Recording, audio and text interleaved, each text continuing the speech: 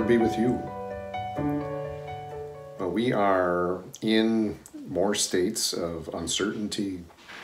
Um, safer at home has been lifted here in our state. Um, our county has finally put some um, safe return guidelines in place. But even with all of that going on, uh, we're still trying to figure out, uh, along with everybody else, small businesses, organizations, uh, even churches, we're trying to figure out what are the next steps. So, what does that look like? How do we do that? And as we have been thinking and contemplating these things recently, it's caused me to go back and think about um, what it felt like when all of this first started so long ago. Uh, I remember when all of a sudden worship just abruptly stopped. Uh, in person meetings just abruptly stopped.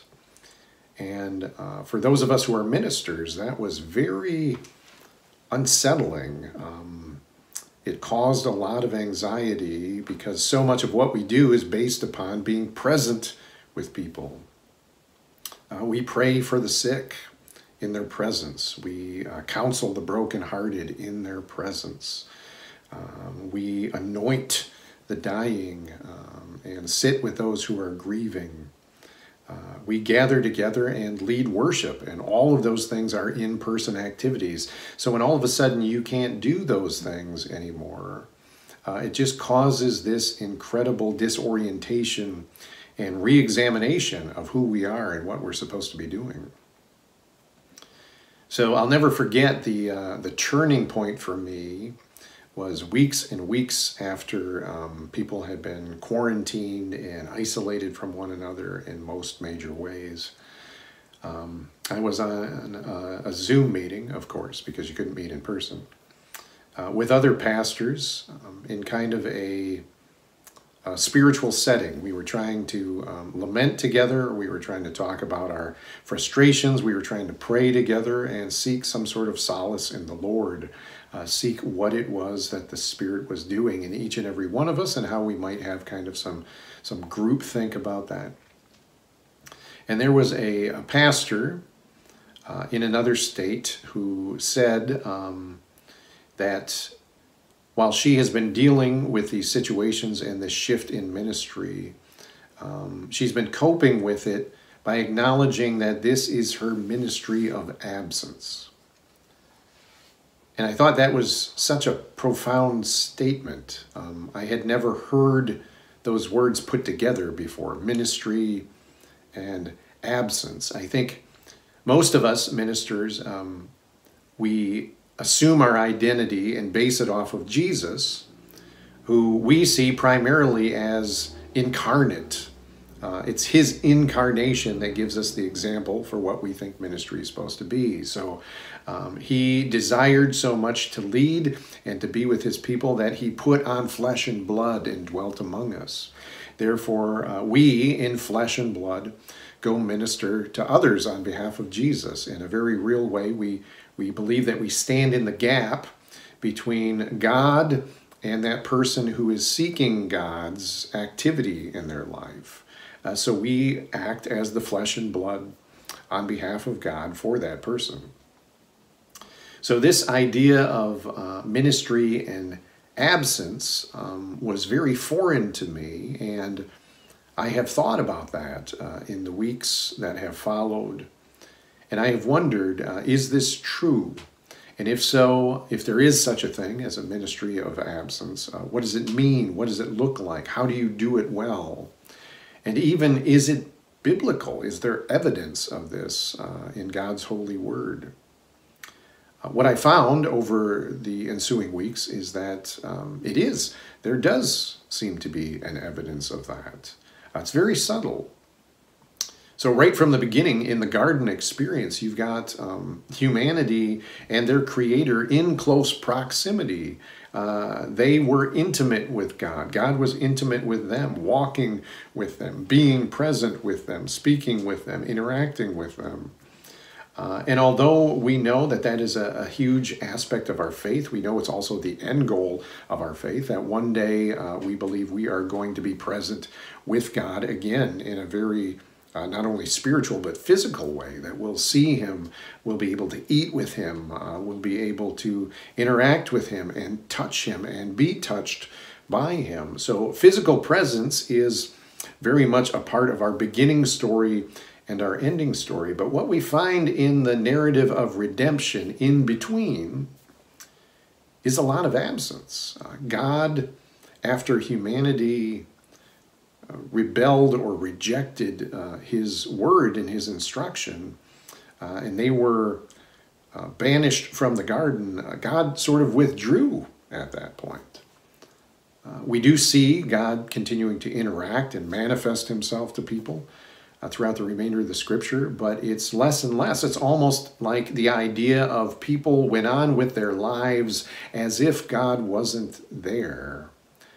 And as a matter of fact, um, we learn by the time we get to the Psalms that that's uh, the biggest lament of a fool, uh, someone who believes that God isn't there, that there is no God. They can't see the evidence because of God's absence. Uh, we do find that God uses his presence and his absence in various ways with differing individuals all throughout Scripture.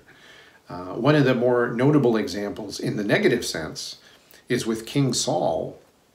So you have this story in 1 Samuel 13 of um, Saul uh, being king. He's already been chosen by God, he's already been anointed and established as the king of all Israel. And yet, um, even though he's done good things for the monarchy, there's this, this section where he is on the verge of war with the Philistines. Uh, and the Philistines have gathered on uh, their side of uh, a ravine, and Saul and his army has gathered on their side. And they're waiting. They're waiting for seven days because Samuel the prophet has told Saul that he would show up in seven days and uh, presumably bless the army and make a sacrifice offering to God on their behalf. And what happens is at the end of seven days, Samuel doesn't show up. He is absent.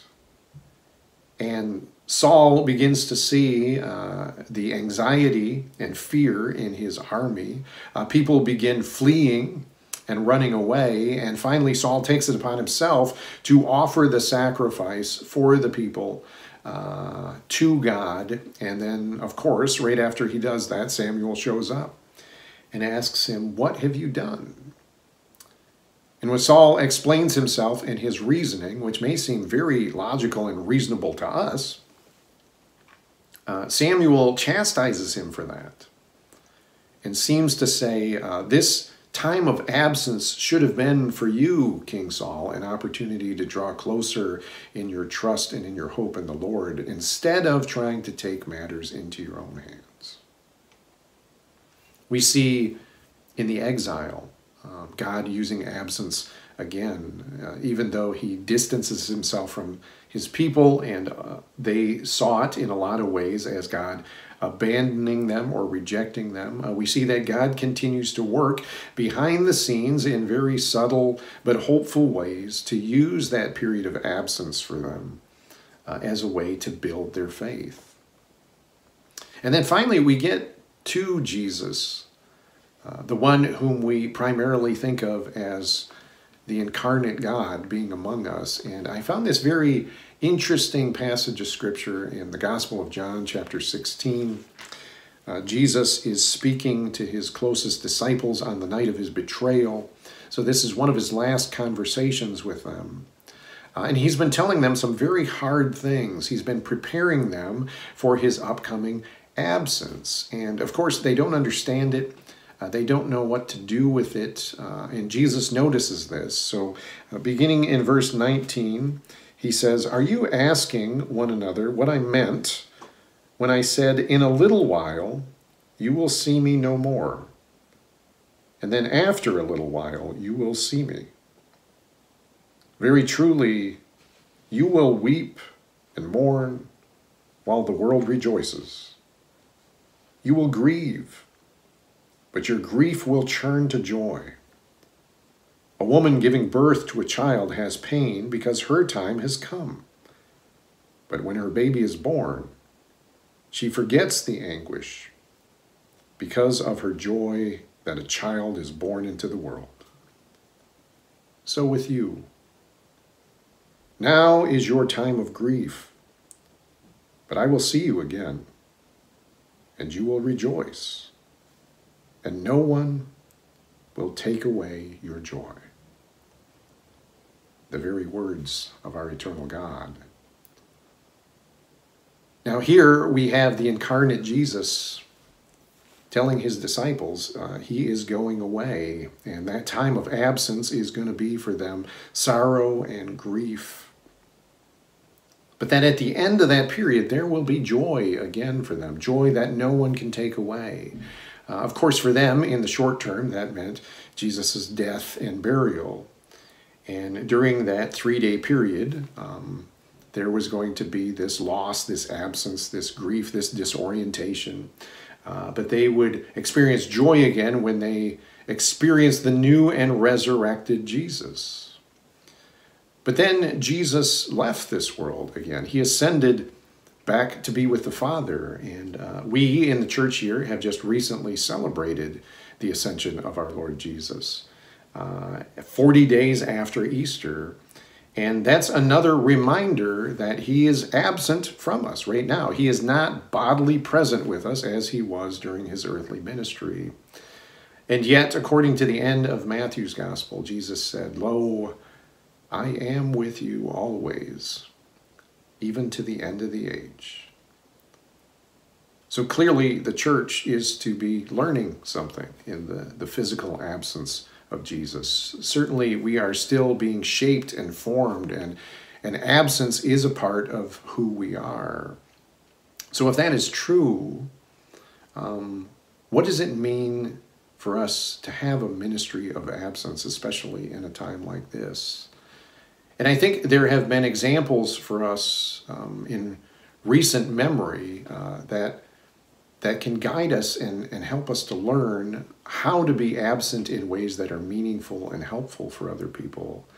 Um, I look at the monastic communities, both of old and of recent times, and how they purposely chose to withdraw from the world.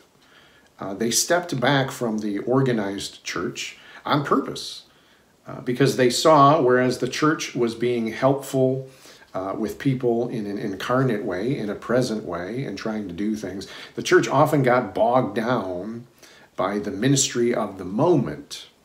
And sometimes they were missing the bigger picture. So these faithful women and men saw their calling from God to withdraw from the present church and to isolate themselves and to dedicate their lives to prayer. They believed that praying for the church and for the world from a distance, from an absence, was one of the best things that they could do. And I pray that we learn that same lesson. Beloved, we are all in a ministry of absence right now. It doesn't matter if you're a pastor or if you are a deacon or an elder, uh, if you are a lay leader or if you are just someone who gathers for worship. Um, we are all part of the body of Christ. We are all a kingdom of priests on behalf of our Lord, and therefore we are all to be serving our Lord. And maybe one of the best ways, if not one of the only ways, that we can do that in these uncertain times is through our ministry of absence. Uh, maybe we need to write some letters. Maybe we need to send an email or a text or give a phone call. And all of those things are good and helpful ways that we can still connect with people. But even more important than that, maybe we just need to be praying. Praying for the world and praying for individuals by name, even if those people never know that we prayed for them in the first place. Let us learn how to be good in our ministry of absence so that when we can be present together again without all of this uncertainty and all of these details to be worked out, uh, we learn how to do that even better. So, as I have begun saying in these new series of videos, as these times are continuing to change, in this time of our ongoing pandemic, the peace of God be with you. Amen.